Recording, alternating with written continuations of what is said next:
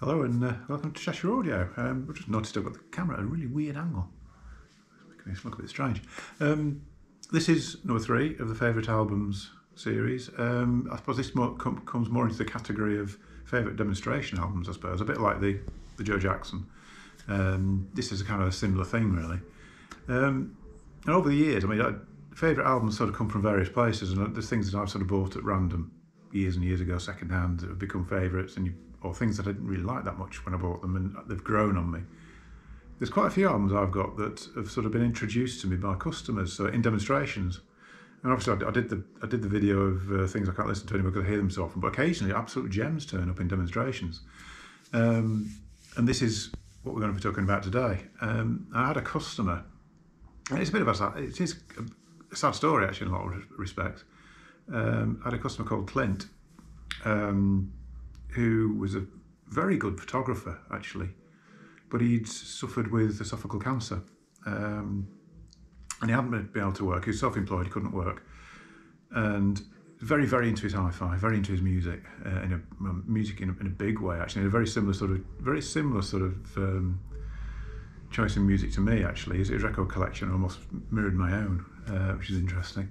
But he used to come up regularly for demonstrations. You know, he listened to all sorts of stuff. And he had, a, a, I think, a Rega planar turntable, Sugden amplifier, and some neat SX3s and he wanted to improve his record player. Obviously, he was ill, wasn't earning, um, and then he, after a while, he came through all his chemo and he got he he got the old clear, and uh, it's sort of great, you know, sort of excitement. I'm going to be earning again now. I'm going to get going to get myself a better record player. And he used to come up to the shop. I'll put a picture actually um, up of, of Clint in a demonstration room. He used to come regularly listening to all sorts of combinations of record player, ARM cartridge, whatever. And uh, he settled on uh, a Nottingham Analog Hyperspace, and this this was his dream turntable. Suited his system brilliantly. This is what he was going to buy. Um, and he's, oh, I'm, going, I'm, I'm, working again now. I can get back out because he, he was a, did a lot of sports photography, did all the big matches, and uh, going to get back out working again. I'm going to start getting my money together, and I, this is what I'm going to buy.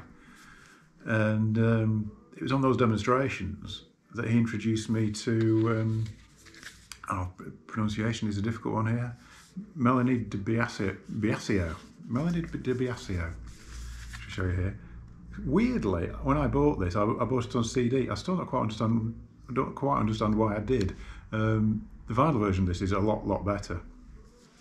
Um, it's an interesting one. It's quite a difficult album to categorise, but it's a bit like the Joe Jackson. That it's a very spacious recording it's a very simply done. It's vocal, a bit sort of brushwork on on cymbals, a bit of bass drum, a bit of bass guitar.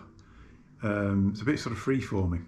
Um, you almost you could almost say it's jazz, but then again, it's almost not really.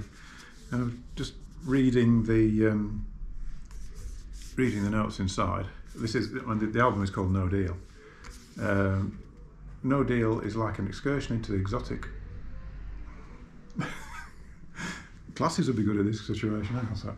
No deal is like an excursion into exotic, uncharted territory, dangerous, but with the promise of rich re reward. De, Biasio has a warm, dark, sultry voice. Yeah, that's true. Um, and a style that is hard to pinpoint. That's true as well.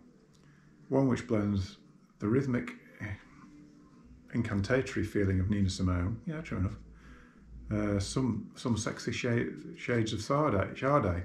I don't see. I don't. I don't hear Sade in this, but um, we'll pass over on that one. And even echoes of the Velvet Underground. Now, actually, I can sort of see that. The only thing I'd say is it. She doesn't sound anything like Nico uh, at any stretch of the imagination.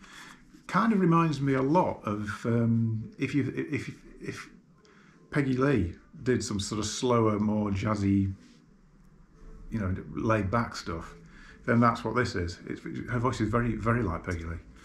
Um, but yeah, it's one of those albums. It's sort of late night, very sort of slow and but fantastic acoustic, really fantastic acoustic. So I really, yeah, thanks to Clint for that. Um, I mean, furthering the story of Clint, um, after being given the old clear, saving up for his DAC, um, he missed one of his, he came for a demonstration, missed it. He said he hadn't, been feeling very well. Um, and then I heard because the, there's a little, little group of guys who kind of knew Clint and sort of one a couple of guys who worked with him, and one guy said he's not he's not well. He's, he's um, they found more cancer, and he did continue to come in, but he started it from from being very very thin and then putting weight back on as he got recovered, and he started to, he was starting to lose weight again, and they'd found the cancer all over him. Um, so he came in one day to me and he said, "I really want this Nottingham." He said, "What I've decided to do." Um, oh, he's had a car crash as well, just amongst all this going on. Um, I said, "What I'm going to do?" I said, "I'm cashing in my pension. Uh, I'm, I'm having it." And uh, yeah, he had, a, he had his Nottingham Hyperspace with a Rega arm on it um, and a Nagaoka MP500, which was something else, and uh, took it around to his house. It sounded amazing. I mean, he was so happy with it, and it's just like this is it. This is my final hurrah sort of thing. He had his got his music out, and his system sounded phenomenal. It was such a good little. It was a tiny little room it was in. Absolutely over the moon with it. Um, and he had it for three, four months, I think, something like that. But yeah, I don't know. I still still get quite emotional about Clint actually, because he was such a lovely guy, and you sort of think, well, I, you know.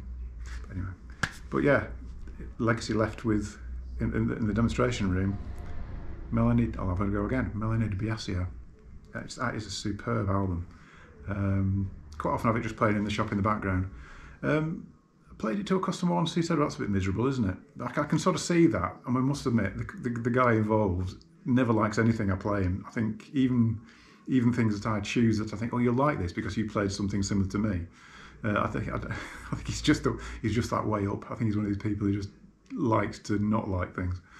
Um, but yeah, that's that's he's the only person I've ever come across who, who didn't really think this was amazing. So recommended. Melanie De Biasio got it this time. No deal. I'll put a little note along the bottom just to just so we get the spelling right. Thanks for watching. Don't forget to subscribe. Um, I think we're up to 4,300 subscribers at the moment. Um, yeah, I'll see you in a future video. Thank you very much.